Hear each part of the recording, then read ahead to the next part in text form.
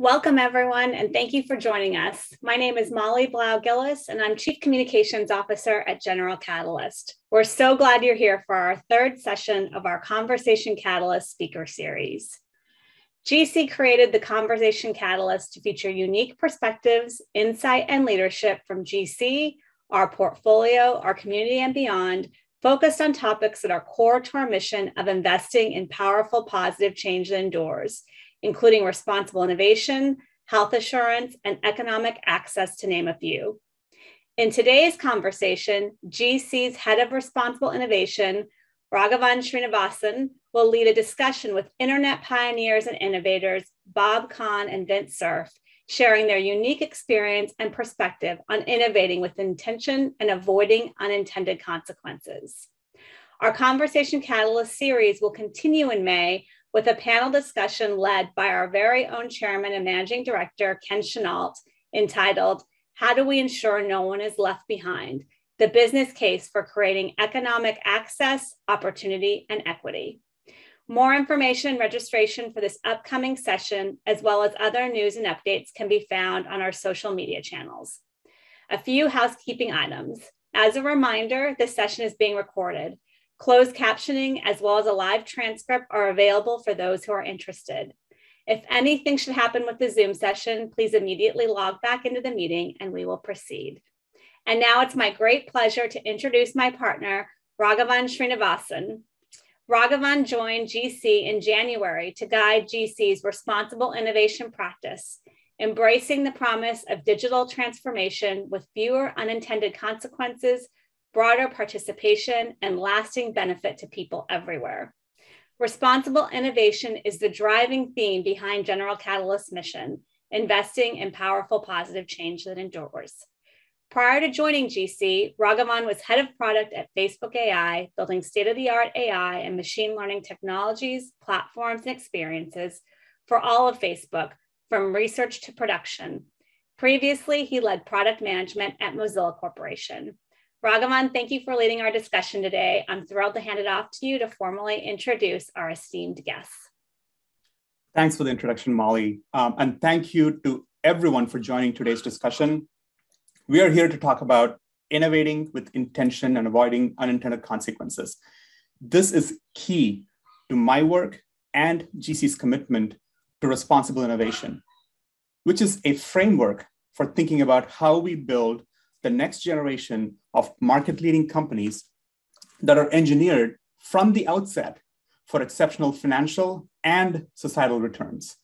And today, we're going to hear from two absolute legends of internet history, Bob Kahn and Vint Cerf, co designers and architects of the TCP IP protocols and the architecture of the internet, on their journey to build an enduring technology and an enduring relationship with innovation and intentionality. Vint Cerf is vice president and chief internet evangelist at Google. He has served in executive positions at ICANN, the Internet Society, MCI, the Corporation for National Research Initiatives, and DARPA. A former Stanford professor and former member of the US National Science Board, he's also the past president of the ACM and serves in advisory capacities at NIST, DOE, NSF, and NASA. Bob Kahn is president and CEO of the Corporation for National Research Initiatives, a nonprofit organization he founded in 1986. In 1966, he took a leave of absence from MIT to join BBN, where he was responsible for the system design of ARPANET, the pioneering packet switched computer network. In 1972, as director of DARPA's Information Processing Techniques Office, he initiated the Strategic Computing Program, the largest computer research and development program ever undertaken by the federal government to that point. More recently, he has been involved in the development and deployment of the digital object architecture, an open architecture for managing information on the internet. Bob and Vint have been awarded the Presidential Medal of Freedom, the highest civilian honor in the US, the Turing Award, the highest distinction in computer science, the Legion d'Honneur, the highest order of merit in France, the Queen Elizabeth Prize for Engineering, the US National Medal of Technology and Innovation, and dozens of honorary doctoral degrees. Bob Kahn and Vint Cerf, we are honored to have you join us to share your founder's journey, your insights on the responsibility of today's technology, and your visions for the future. Thank you for being here today. Well, good morning, Raghavan. It's a real pleasure to join you today. I'm looking forward to the, the, uh, the discussion. Yeah, thanks for those lovely introductory introductory words. Thank you. Awesome. Um, so we have a fun-filled conversation set up for today, um, and we're going to be talking about a few different aspects of uh, of responsible innovation, also you know your work here. And I figured it would be really appropriate for us to start at the beginning, so to speak, your founder journey. You know, as GC, we work a lot with entrepreneurs and founders, you know, across the world. And as one of the original founders of the internet, I would love to hear about your story for how you got started, how you met each other, and more importantly, how you built this enduring product and enduring relationship. The two of you have been collaborating and have been close friends for 50 years, maybe even more. So I would love to maybe keep this conversation off with that story. I think you should start, Bob, because the uh, we met uh, during the ARPANET period when you had uh, architectural responsibility for a lot of that. But it was your idea that we should build separate networks around the same around distinct technologies and optimize around them that really triggered the internet architecture. And so it's interesting to know what it, what was it that caused you to move from the let's just build one big network and use every possible communication technology in it to uh, a, a more disaggregated uh, architecture? Well, I, I, think the, the most important thing to realize is that Vint and I both started out as, as scientists, really, and engineers of one sort or another. Vint came from a computer science background. I was more from a communications and electrical engineering background. And these were just interesting times. I, the, the idea that you could build a network to link computers was just really interesting. And so it was the science and the engineering of it that was the motivation. We were not thinking in megalomaniac terms of you know creating something for the whole world. It was just not on our radar screen.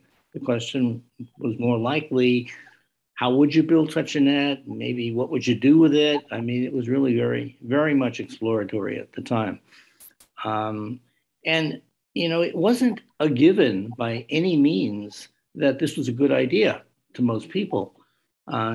The university communities were mainly involved with a lot of batch processing. They didn't want to open up their machines to other people to come in and make use of their limited facilities. Um, I got more questions from people early on. Why was I throwing my career away? There was no future in networking. Nobody wanted it. Besides which, if it were going to happen, it was going to be the big companies. Uh, back in that day, it was probably AT and T was going to do it, if anybody. So what the heck were we doing? Well, the bottom line is we were pursuing science and technology. That's really what it was. I actually met Vint for the first time when he was still a grad student at UCLA, as I recall. And right. his name had been given to me by a friend of his named uh, Steve Crocker, who said, Is this guy's been a long-time friend of mine. You really should meet him. And so on one of my trips out there, I made up an appointment, went to see Vint. We had a great conversation, and it was really, as you said, the start of a 50 year collaboration. Now, at times it was very tight.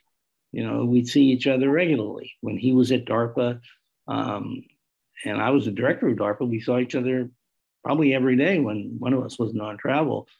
In more recent years, Vint's sort of gone on his own. He wanted to put his own stamp on things. Uh, but we've stayed in touch um, on a fairly regular basis. And I think it's one of the collaborations, not, not the only one, because I've had a very good collaboration with my wife, who's a copyright lawyer uh, on some of the more interesting intellectual property aspects of managing information. But the, the, the interaction movement has, has, sort of been one of the highlights of my life.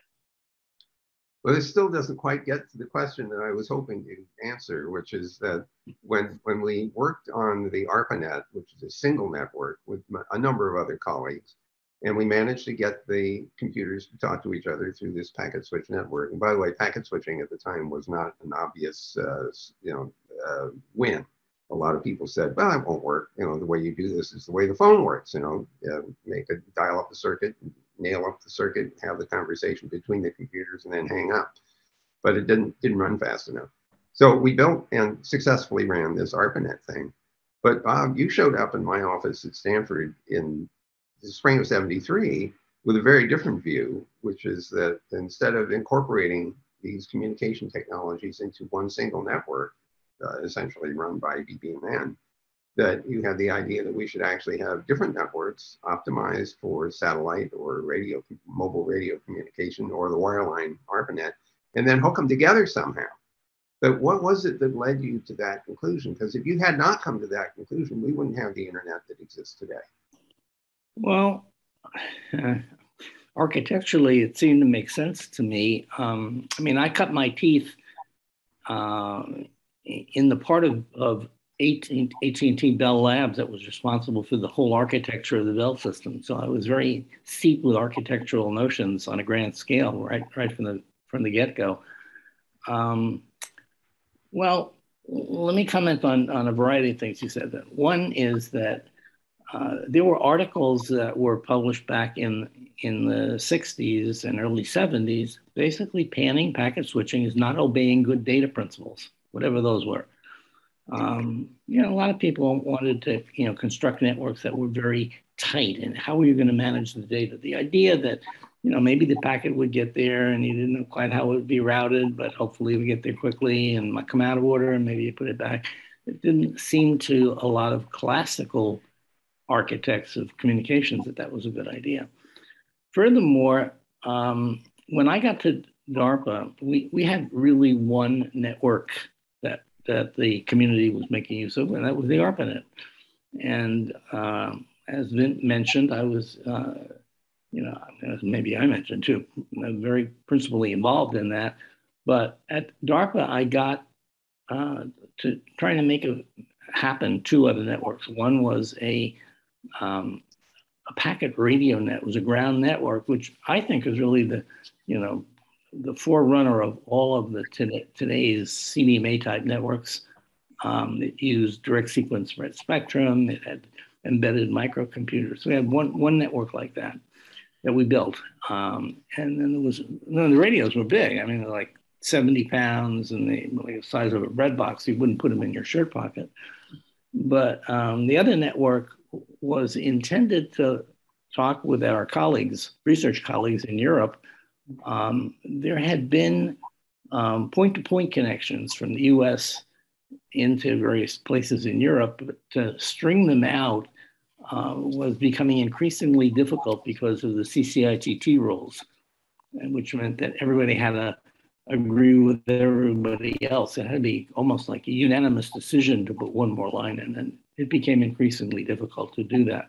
You can spend time on that if you like, but um, so we built a um, a network using packet switching technology. It was kind of like an Ethernet in the sky using Intelsat 4. Um, and the way it works is you broadcast a packet up and it would be pulled down by the appropriate ground station and passed along. The others would just, uh, you know, drop it. The problem was the way it was implemented at the time um, by BBN in the packet switch. They took an ARPANET node, added more memory, and made the transfer from the ARPANET to the satellite portion by an in-core memory transfer. And when I took a look at that, I said, you know, there's no way to manage this as a satellite net. And I was looking that I was imagining the future was going to be lots of different nets, as we already uh, you can imagine local area nets. They didn't really show up until the Ethernet came out big time. What would you guess in 1974 or five? At that time frame. Well, it was first demonstrated in May of 1973, which is when you and I started talking about multiple networks. In fact, just to, to try to accelerate the, to get to some of Raghavan's other questions, I would say that while you were at ARPA and we were trying to make this relevant to the Defense Department, command and control would require mobile vehicles and ships at sea. And the ARPANET wasn't designed for that. And so the mobile packet radio net deals with the mobile vehicles and the ships at sea get to use the shared packet satellite system. And that means you have three different networks at least, plus the Ethernet, which is, as Bob says, just sort of nascent at that point. Um, and, and so the question was, how do you hook all these things together? That was the internet problem. Right. So it was important to me to split out the satellite net from the rest of the ARPANET. They were all bundled in one big software package. And it was uh, an interesting set of discussions with the folks at BBN because it was essentially taking their responsibility. I mean, they had all the technical arguments on their side. You know, it was three boxes instead of two. We were talking about putting a, a, a box in the middle, which we were calling a gateway at the time. Today you'd call it a router. Um, so you go from ARPANET to a router to a satellite net, and that would allow you to manage the routing of information through the system and essentially allow each network to develop independently of the others. If you built any of that stuff into the individual nets, all the networks would have to change instantly, and that was kind of a non-starter. So I, I could I could see that as a you know a way to move forward in, in the future. I think Vint could too, just as easily as I could. And it took a while to make it all happen. It wasn't clear, uh, frankly, within the DoD that this was a DoD problem. So, mm. so that's a really fascinating um, point, Bob, and, and maybe you know this is a good time for me to also ask you another angle of this because designing something like this, you know, I was, I was chatting with Vint um, earlier, you know, last week, and he said, "Oh yeah, we kind of like you know designed the internet, and we kind of got it done in about six months, right?" And I was like, it was just mind blowing that you know something so profound happened that quickly. So I'd love to maybe hear from you. What were sort of the design principles and intentional choices that you made? You know, there's so much that's spoken about the decentralization um, that was so core to the architecture, the open collaboration that you had. Did you even think about business models? Like, how did you go about thinking about what was really important? What were the principles, and what guided you in designing, you know, what is basically the internet today? Uh, I don't think it was that way at all. I mean, we were not, I was not trying to engineer the network for the universe of the future.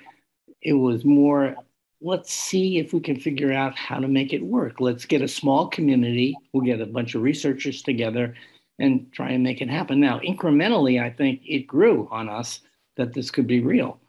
Um, I remember seeing for the first time on one of the TV shows. If you want to communicate with us, we have a new way to do it. Send email to such and such at uh, Nightly News or something. I think, oh my God, it's you know it's taken over for real. You know, maybe Vint had a different model, but uh, you know, I think most people at that time would have argued that if you were going to make something like this happen, it was probably just going to happen in, in the U.S. and maybe a few European partners uh, it was probably going to involve, uh, you know, AT&T, the, the, carriers didn't show up in mobile forms until sometime later in the 80s. Um, and, uh, you know, eventually it just became so important. I mean, I remember being invited to a discussion at Bellcore in the late 1980s where they were, for the first time, concerned that this internet thing wasn't going away they thought it would just disappear at some point in time. And some technology they had developed, I think it was ATM and SONET, if you know what those are, uh, would, would somehow take over the world because that's what they would be pushing, but it didn't happen. And so they had this sort of two circles on the board, ATM versus internet, and they wanted to see the internet go away. I said, you know, not going to happen. So we had a whole, I'm sorry, go ahead, Vint. Well, I, would, I just wanted to uh, to respond to uh, Raghavan's question a slightly different way. Uh, at the time that when you showed up and said multiple networks, uh, I uh, grabbed that because my immediate thought was, okay, we're thinking about command and control. We know we've got to deal with mobile vehicles, ships at sea. We know we have these different kinds of network technologies. They're all packet switch. We're going to have to deal with our allies. They're going to have to, if we're going to use this, it's going to have to work for them too the idea of having separate networks that could be interconnected but operated independently was extremely attractive because pretty sure that you know yeah. uh, the UK was not going to ask the US to run their command and control system. So the idea of being able to run networks independently and still make them interwork was uh, almost essential. Uh, as for business models, we weren't thinking about business models. And in fact, in the end, uh, we ignored business models and said, I don't care what the business model is, pick whichever one works for you as long as all the costs get paid for. So uh, we wanted as much in independence for the network as, as we could get, mm. while at the same time establishing commonality so that every host on every network could talk to any other host on any other network. Everything should be able to interact with everything else unless they didn't want to. But the idea was to make sure everything could uh, communicate with everything else. We couldn't know what the applications were going to be necessarily, except for the few that we had on the ARPANET electronic mail, file transfer, and remote access to timeshare machines. But I want to emphasize that the uh, openness of the architecture and, and the unconstrained nature of the architecture meant that, even if we didn't understand it at the time, meant that there was just this enormously open field of possibilities. New protocols could be added at the different layers in the architecture. New layers could be added, which is what happened when Tim Berners-Lee did the World Wide Web. HTTP showed up on top of TCP/IP. So that freedom and flexibility of the architecture was enormously uh, enabling. And I think that's an important point to uh, hang on to. Of course, it also enabled a whole bunch of bad stuff to happen, which we still struggle with today. I, I love that you you brought that because you know I think that gets to the core of a lot of the challenges that we're grappling with today as technologists and as innovators, right? Which is how do you continue to design and innovate systems that are open and flexible and give people the ability to innovate without restrictions, while at the same time making sure that there is some thought given to the responsibility and accountability. So maybe you know this would be a good place for me to, to get both of your thoughts on you know, with the internet and broadly speaking, technology getting so deeply interwoven into every fabric of our lives and society, what do you see as the responsibility and accountability mechanisms for innovators? Did you, for example, you know, when you were designing and watching the evolution of the internet, imagine that someday we may need a safe mode for the internet, right? You know, when you know, when should we start to think about this? Uh, what is the right time, and who are the right set of people to be carrying this responsibility? Well, keep in mind that we were originally doing this for the Defense Department, and I can tell you security is an issue in the Defense Department. So we were thinking about that early on. The timing was such that the technology that we use today wasn't quite available then.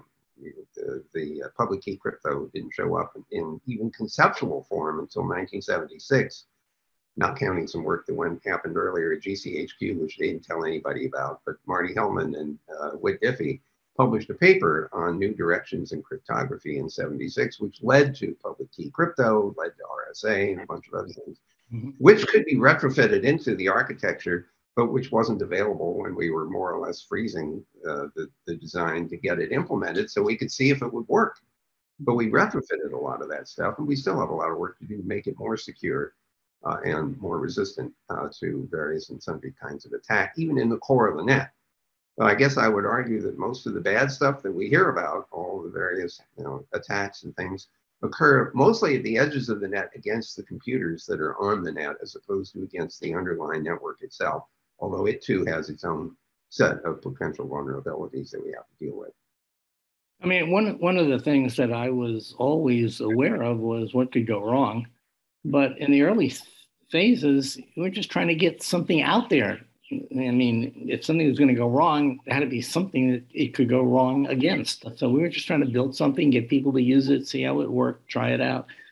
Uh, over the course of my career, I've had all kinds of suggestions made of things that I thought were problematic. I'll give you an example. One, uh, hopefully, we'll get into this later. But um, Vint, Vint and I started an effort back in the late 80s when he was also at CNRI uh, on mobile programs. And that led to all of the stuff that you mentioned in your, your list of topics on digital object architecture. It was really, that was the genesis of, of a lot of those ideas. Um, and as part of that, one of the uh, key ingredients was the ability to identify information. I mean, it's, it's one thing to say, well, it was on page three of this book, which was on that shelf in this library, but maybe you just want to say, here's the identifier for it and just go directly to it. well, one of my colleagues came to me one day and said they had a great idea so that you could just do this. You don't need any central anything to manage it.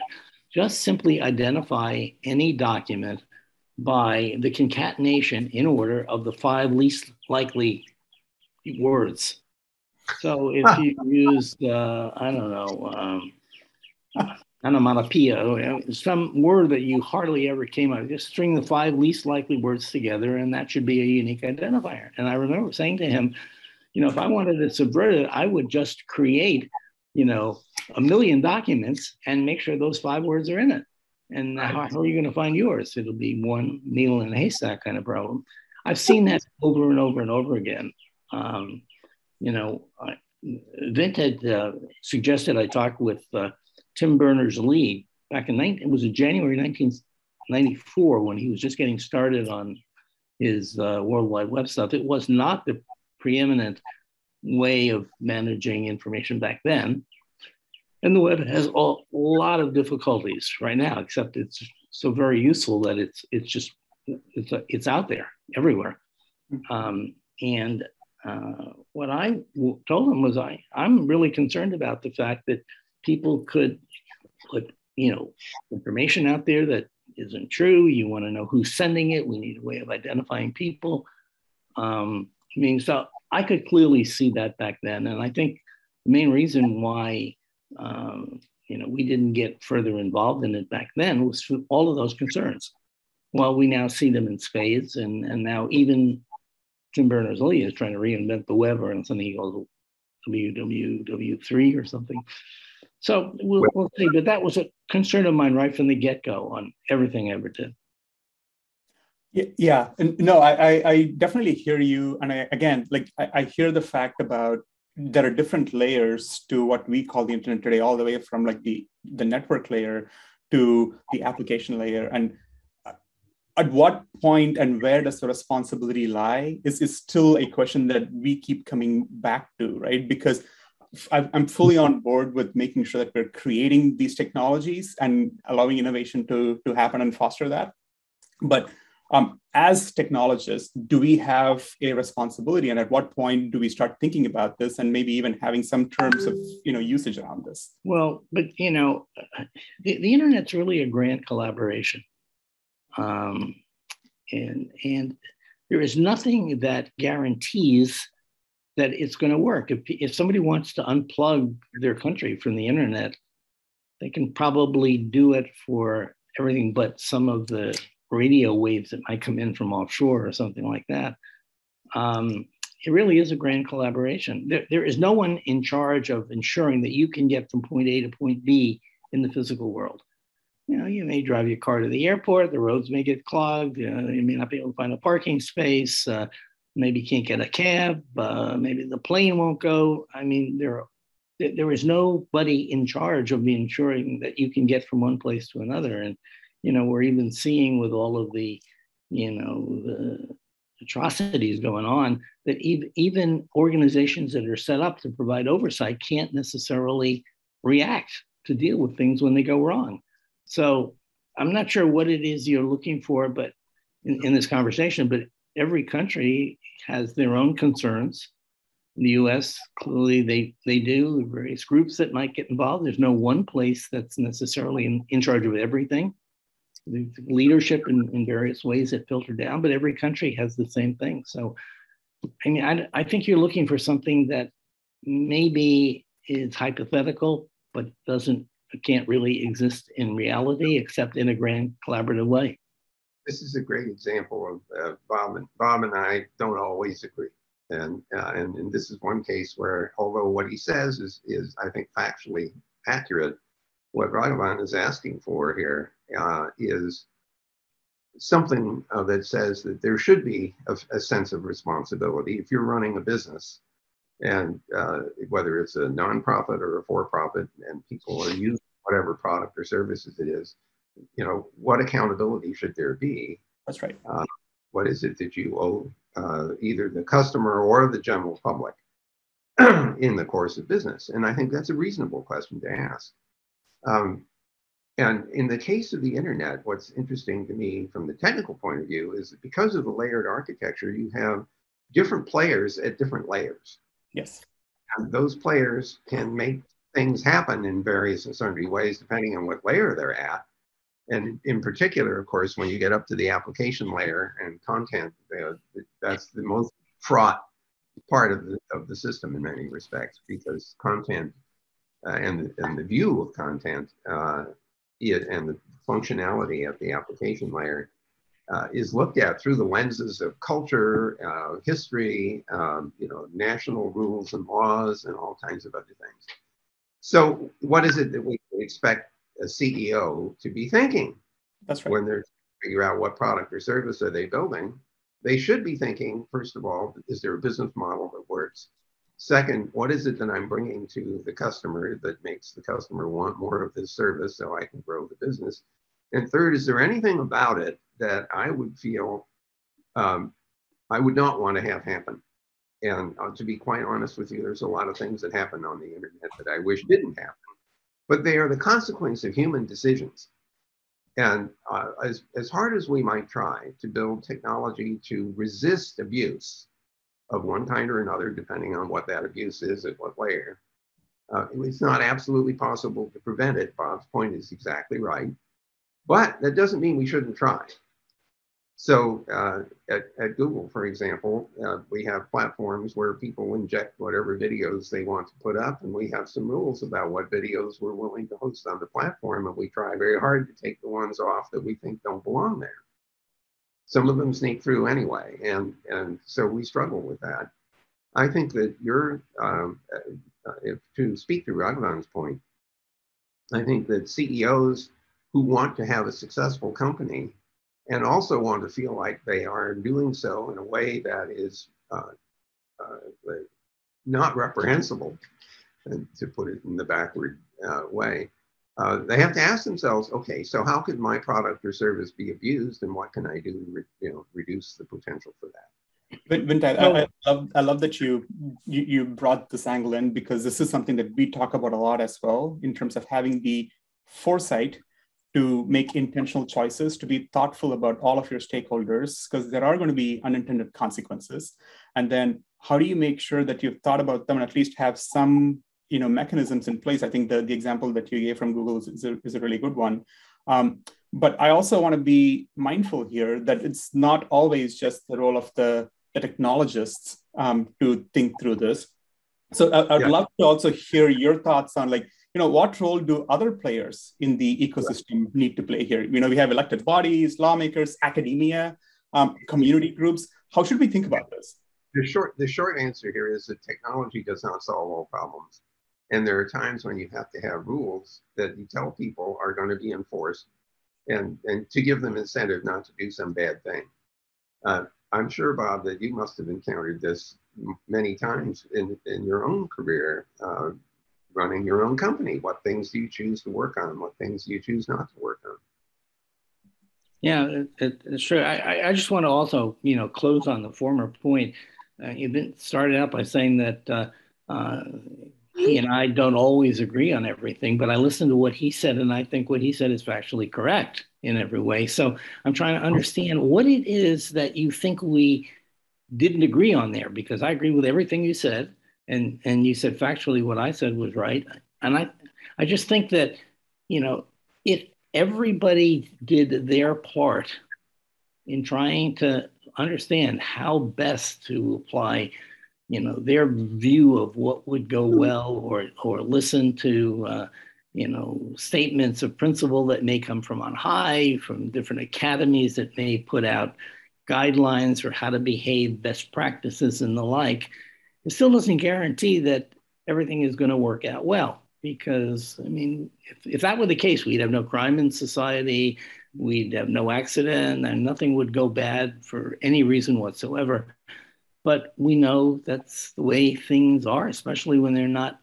overly controlled from the top. If, if there was somebody who could overly control everything from the top, even then, I don't think you could prevent bad things from happening from time to time. So I'm not sure what Vint and I disagree on here, but um, I, well, I, this, agree with what he said. well, the reason that I reacted that way is that it sounded like uh, we one could conclude from what you said that well, don't bother to do anything because you can't fix everything.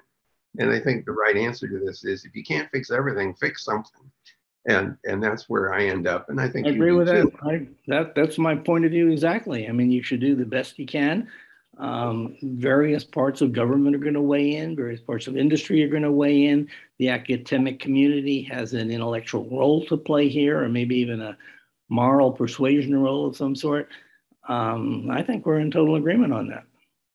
All right. Well, that's awesome. So maybe I'll, you know I'll, I'll wrap this stage up with the uh, with a question that you know I think is on a lot of people's minds also. If you look at if both of you look at the evolution of the internet over the past 50 years, what would you say has been your single most favorite application? And maybe we can just look at you know the last five years if you want to. And what are some ideas that the two of you had envisioned, you know, back when you were designing this that were so obvious to you, but you're still not pursuing? Well, oh. I mean, for me, for me, I mean, it's it's probably clear that email is the application I use the most. Uh, I don't know it's my favorite, but um, and you know the web has been particularly helpful because I use it to access all kinds of public information of all kinds. Um, the internet has enabled streaming. I don't know whether you call that an application, but it's certainly a use of the internet that's been very important uh, during the pandemic. Um, you know, have, having said that, I think the the the thing that Vint and I started working on back in the 80s on mobile programs led us to focus on the digital object architecture, us being CNRI, because Vint had gone off to MCI sometime in the mid 1990s. And so he was off on, on other things at that point. And when we introduced the notion of mobile programs, it was at a time when people were just becoming more aware of the vulnerabilities of the net, uh, viruses and worms and Trojan horses and the like. Um, and so a lot of the companies that saw that work, we shared that with a lot of the big companies, they all said, why would we want to have somebody else's program show up on our machine and run? It could be a virus. Mm-hmm. And so we said, all right, let's take out the mobility part. Um, you ever, you know, see those ice cream trucks that used to come by your neighborhood as a kid, you know, mobile mobile ice cream. Well, it didn't mean you couldn't buy ice cream in a fixed store on the corner. And so what we did was we said, okay, let's take the mobility out of mobile programs. And that's what essentially became the digital object architecture that's an idea I could see back then as a really good idea. Um, I presume Vint could too, although maybe mobility was more critical to him than it necessarily has turned out to be. Um, but as a reality, uh, given that, it's still not as widespread as I'd like. Um, one of the things that came out of it was really important was the ability to identify information. Mm-hmm. Um, that was probably the thing that was first out of the box because the publishing industry needed a way to identify their material and they uh, agreed to that. And so that's, that's widely used. I mean, if you look at all the IETF documents, they now have DOIs on them. If you look at what comes out of some of the government agencies, they have the same thing. And that's something we, you know, we, we still play a key role in. Publishers got organized around that. Another area that we're very concerned in was persistence of the information. So it's one thing to be able to identify it, but it's another to be able to actually get it from the identifier. Somebody's got to maintain it, and it's got to be in a form that can be understood. And it's going to, if it's 100 years from now, you know, like the National Archives might like, then you want to be sure that it's independent of the technology. This architecture has all the principles that the original internet had open architecture, independence of the technology. I mean, it, it really is pretty powerful but there's no there's no forcing function that's as compelling as there was with the internet, which everybody wanted to be on this common communication platform. Um, people tend to want to manage their own information, except when they want to access somebody else's. So on the web, you can't get to companies' internal information because they're not going to make it available, but they're going to have certain things they want the public to know and they're going to make that available. Well, this is an architecture that lets you identify everything, including the very private stuff. And so security is critical. And I think the most important part of this whole architecture is the ability of digital objects, which are the key, just like packets were key to some of the early networks, is that these digital objects need to be able to interact with other digital objects. And the digital object can be a fairly large thing, like an airplane in some ways is a big information system. Think of that as a digital object that has lots of other things in it. A repository is a digital object that has lots of other digital objects inside of it. And they can all have their own identifiers. Cars. Mm-hmm. And so, you know, cars are clearly talking to cars for autonomous vehicles and planes are talking to planes, but maybe planes need to talk to cars just so, so they can land safely on a roadway in case of problems. In principle, every digital object ought to have the ability, in principle, to talk to any other digital object suitably, you know, acceptably from both ends. And uh, that, that's really part of what I saw as this original thing. I think Vint saw most of that, if not all of that. I want to speak for him, but it's not quite here yet because this is an incremental thing. We made incredible progress.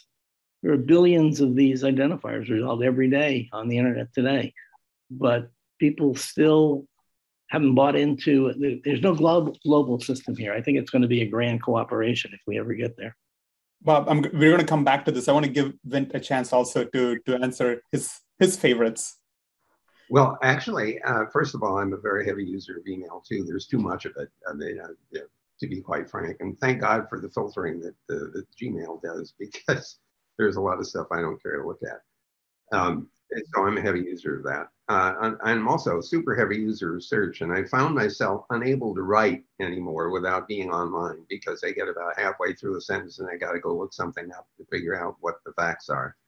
So I'm a heavy user of our own uh, search products as well.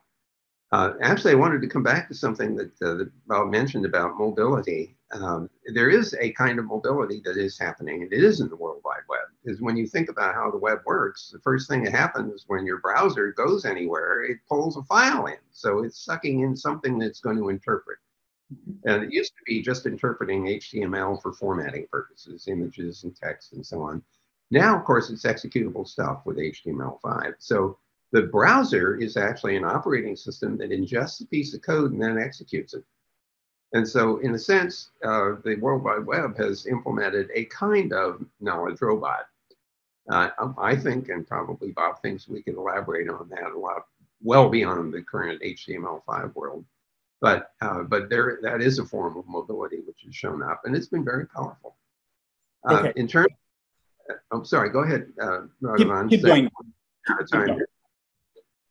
Well, I, you know, you were asking about what other stuff, you know, do I care about? Bob knows this very well that uh, I've spent the last 20 years working on an interplanetary extension of the internet.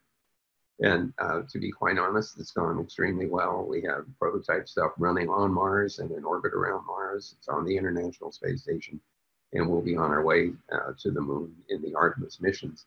So the team that's put this stuff together, NASA and JAXA and ESA and the other space agencies, uh, have managed to standardize all this stuff. So it's pretty exciting to imagine that this internet idea isn't confined to a terrestrial environment.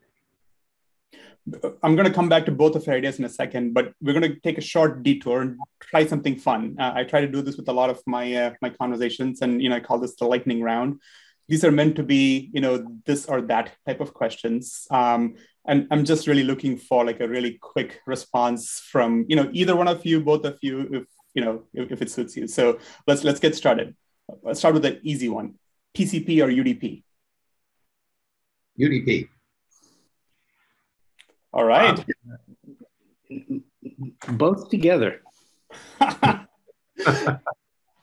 Great answer. Princeton or UCLA? Oh, UCLA here, and you know, Bob's Princeton here. I know. That's why I wanted to ask this question. Um, all right. Edison or Tesla? Hmm. Tesla. Hmm. Uh, well, I'll go with Edison then. All right. DARPA or Bell Labs? DARPA. Very different. DARPA. Hey, we we got the same answer from both of you. That's awesome. Um, all right, switching uh, switching gears a little bit. Star Wars or Star Trek? Star Trek. I'm sorry, I, I didn't get your answer, Bob. Star Wars. Really? You said Star Trek. I said Star Trek because I'm closer to the people who did that. All right. Libraries or museums? Hmm. Libraries. Libraries. Okay, libraries here as well, for what it's worth. Alexa or Siri? Neither one. Google Yeah. Assistant. Yeah, I, I would say another one, neither one either, but I don't have an alternative. Fair enough. Longevity research or brain computer interface? Brain computer interface. By longevity in, research, you mean how to live longer? Mhm. All right, I'll go with longevity. At our advanced ages, that's probably a reasonable answer. Uh, on the presumption that that doesn't work, the brain computer interface strikes me as being uh, more likely. You, kind of need a combination of both of them to, to Well, you know, the, the, the problem is longevity, you know, is something you can have for a longer time, whereas the brain interface goes away. um, last What's the two. famous story that Woody Allen used to tell? You know, when he, he wanted he wanted to know uh, why uh, he and his wife got divorced, he said, "Well, divorce is something that lasts forever." Wow. All right, uh, last two. Save Earth or terraform Mars? Safe Oh. roads.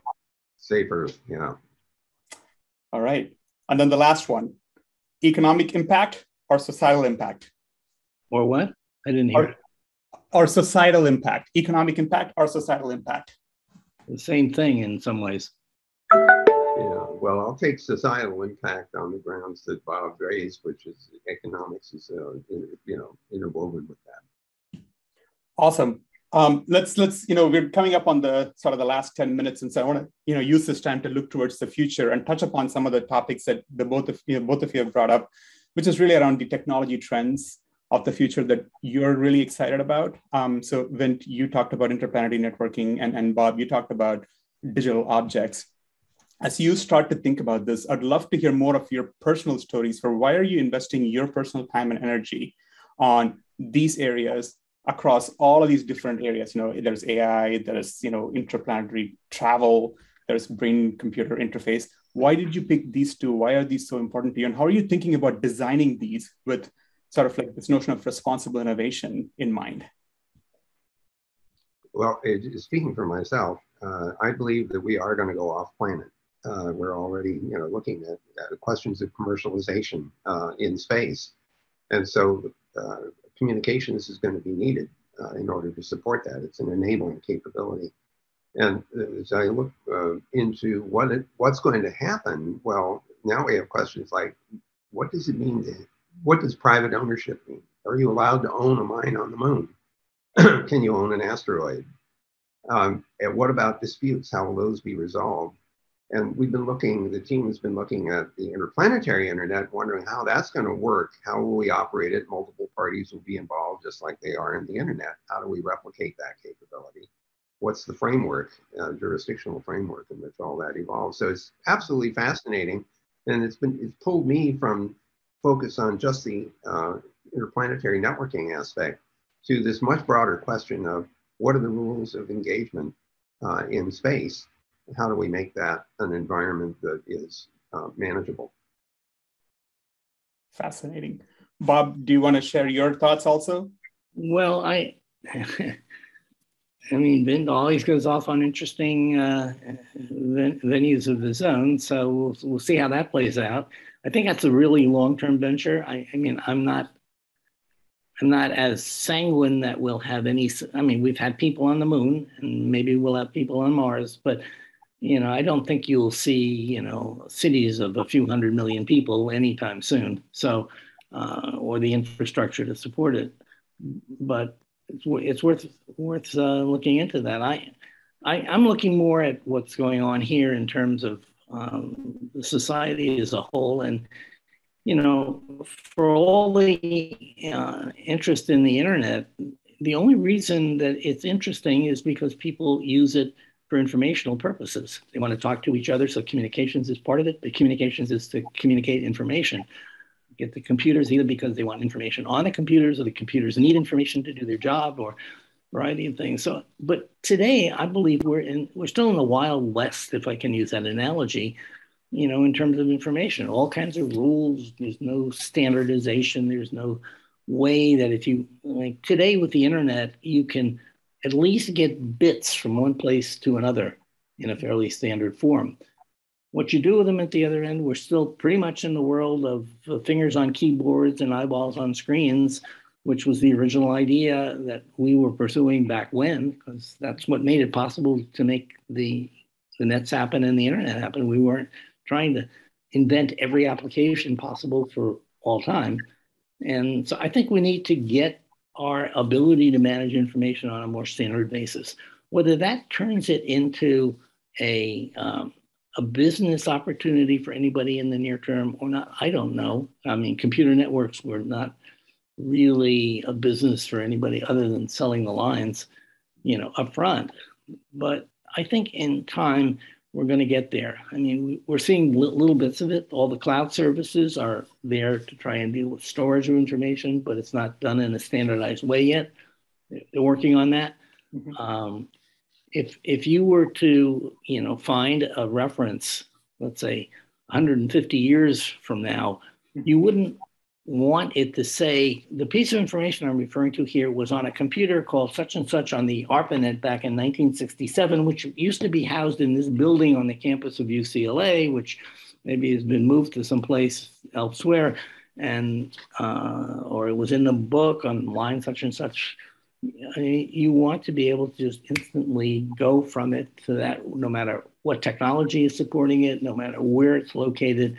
Um, we have some of those capabilities today. Like, you know, if you are on the ARPANET today and the computer is moved from one place to another, the DNS will automatically, you know, get you to where that computer is through resolution, but not necessarily at the informational level. So I think we, we need to get there and it's going to be gradual. So I'm just doing my part and what I can do because I think it's important. And maybe we'll set a good example, maybe we don't, but ultimately it's going to take industry getting behind it in a way that they can understand where the business is before it's really going to take off. Got it.